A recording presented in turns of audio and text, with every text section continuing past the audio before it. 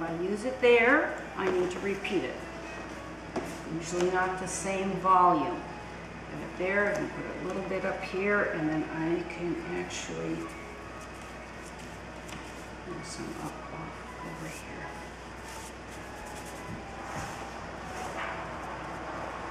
Hmm.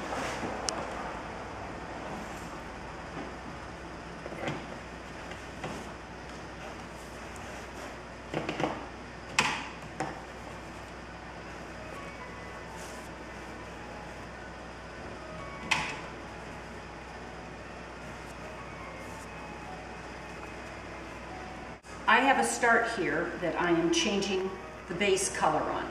So I'm expanding some of the oranges, the reds, I'll get into the blues and greens, just to make the start more interesting. I want my start to be something that I really like, or it's going to be uninspiring to work with.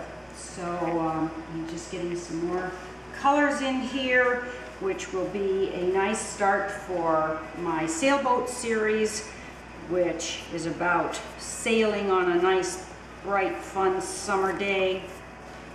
Catch that little bit of summer that we have so little of up here.